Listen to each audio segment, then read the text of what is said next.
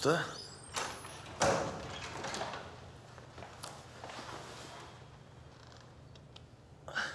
Geçmiş olsun Kemal. Sağ olasın usta. Nasılsın? Yaraların nasıl? İyiyim çok şükür. Korkulacak bir şey yok dedi doktor. Çabucak iyileşirmiş. İnşallah, inşallah.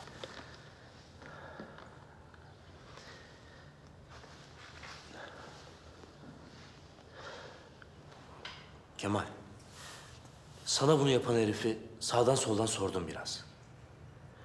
Zaloğlu Ramazan'ın arkadaşıymış. Muzaffer Bey'in yeğeni mi? Evet. Bir iki kere hapishaneye herifi görmeye gitmiş Ramazan. Yani senin anlayacağın Cemşir'le Hamza'nın işi değil. Artık ne önemi var ki usta? Öyle ya da böyle ortadan kalkmamı istiyorlar işte. Bence önemli Kemal. Zaloğlu bunu yaptıracak kadar çaresizse Güllü ona yüz vermiyor. Evlenmek istemiyor demektir. Artık güllü falan yok usta. O iş bitti. Hayır Kemal. Bitmedi. Bırak bu kızı deyip dururdun usta. Şimdi ne oldu? Ne değişti ki? Senin için gelip geçici bir heves zannediyordum. Ama anladım ki öyle değilmiş. Bak gör işte. Zenginlerin zevkleri parayla değil. Benim gibi fakirlerin gözyaşlarıyla satın alınıyor. Ben Semopus damlarında çürüyorum.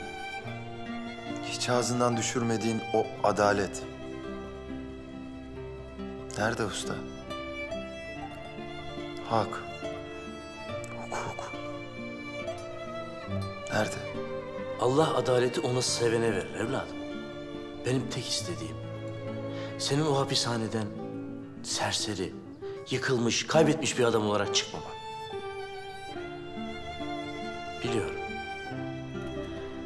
Şimdi böyle konuşsan da gün gelecek intikamını almak isteyeceksin.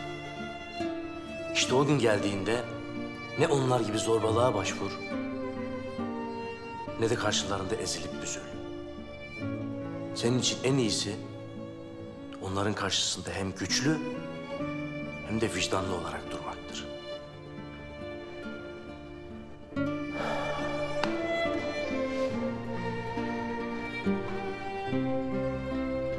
Allah'a ısmarladık.